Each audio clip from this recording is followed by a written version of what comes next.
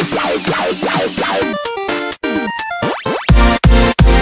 everybody, I'm GHG and today I'm gonna show you how to create this custom join and quit message.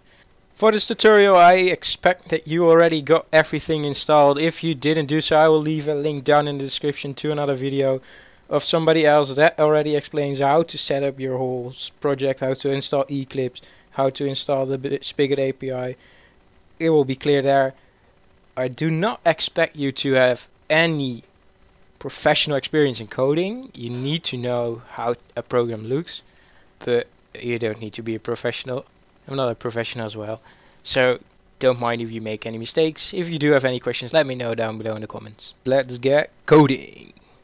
So to get started, we're gonna create a new Java project. You do this by right-clicking this panel over here, going to New Java Project. I'm gonna call mine Join Quit message, but you can name it anywhere you like it and click finish. Now we must make sure that the join quit message includes uh, the, the Spigot API. So we're gonna go right click on the join quit message, re we're gonna go to the build path, configure build path. Now select libraries, add external jars, and add your jar. If you use the same way I did, you need to gonna you're gonna need to shade it. Okay. This means that the Java project now knows everything the uh, Spigot API has pre-programmed, so we can use that. Next thing we want to do is create a package. So go to your source, right click, new package. I'm gonna call mine ghg.plugin.join. Make sure it's un unique because if there's multiple of these packages with the same name, your plugins won't work. Now, what we need is to create our main Java class. You can either do this by right clicking your package, new class, or at the top new Java class. Call this main. Click finish. There's one other thing that our plugin needs. It's the plugin plugin.yml. So we're gonna select the top folder, new file. We're gonna call it plugin.yml. Finish. A plugin.yml needs a couple of things. Uh, first it needs the name of the plugin, which is gonna be join quit message then it needs to know where it should start looking for code it, in the main. So it's ghg.plugin.join.main. Then it needs to know the version, 1.0, the author, it's going to be me, ghg, and the commands. Which is going to be empty because we do not have any commands yet. So we're gonna control S to save and close. Inside the main you you now need to have opened your main and we're gonna extend it from Java plugin. Java plugin. Now it will return an error because we did not tell the the code what Java plugin is so we're gonna import it. And now it knows say make sure that you always import org.bukkit because it might cause problems otherwise so next thing we need to override two functions. We need to override the on enable which will be called when uh, the server starts. And we need to override the on disable public void on disable which will be called when the server stops. Next thing we want to do is to have our have our plugin know that it should listen to uh, to to events that happen on your server so what we're gonna do we're gonna tell it to implement uh, the listener. It's, it's a class from the from the the reference libraries, so the Spigot API, and we we're going to import it. You can either do this by hovering over it and then clicking the import or the bukkit.event, or Control Shift O is a handy shortcut. Uh, but make sure you always do org.bukkit because otherwise it might return problems. And since we implemented the listener, we need to do something else. So on enable, we need to get the server. And then we need to get the plugin handler. Get plugin uh, manager, I mean, manager.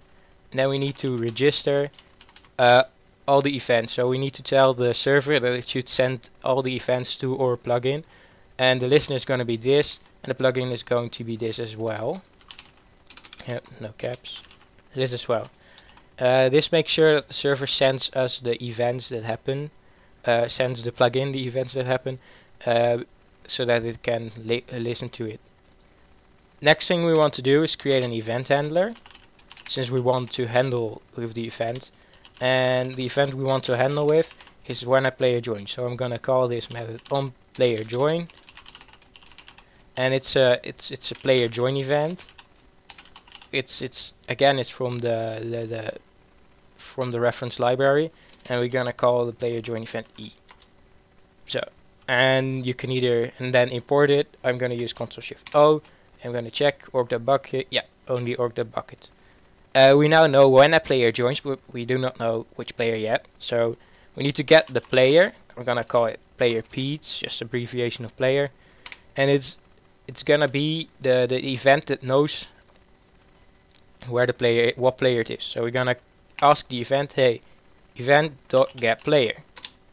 So we now know which player joined the server. Again, we need to implement import it, make sure it's org the bukkit, and the next thing we want to do is set the event to set the join message, uh, player get name, it returns the player's name, plus um, make sure you use the spacebar here, otherwise the name and the sentence we're about to type will stick to each other and will look really ugly.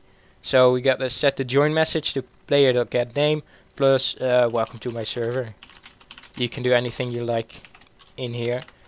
Make sure it's it's within those brackets and um, that's it for the join message now we're gonna do the same thing for the quit message so we're gonna create another event handler public void on player quit it's not player leave it's a player quit event not a player leave event make sure you use the player quit event not leave. Then do and we're gonna call it e again. Next thing we want to know which player quit. So p dot get player.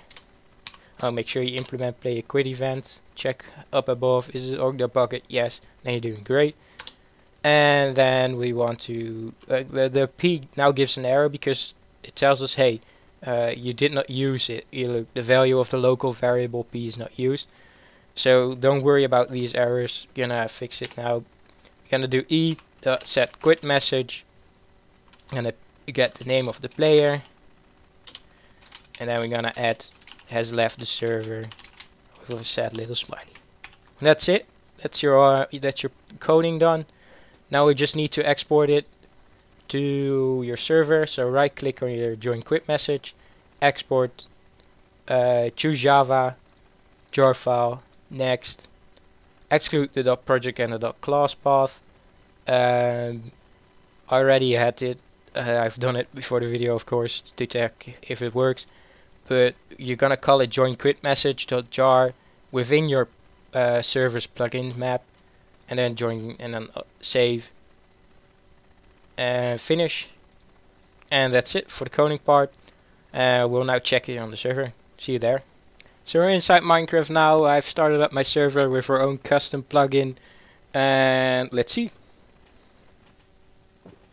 Well there you have it. Your own join your own custom join message and the quit messages works as well. You will see if you try it out on your own server that will work. And that's it for this video. I hope you enjoyed and if you did so please uh, let me know in the comments. Uh, see you next time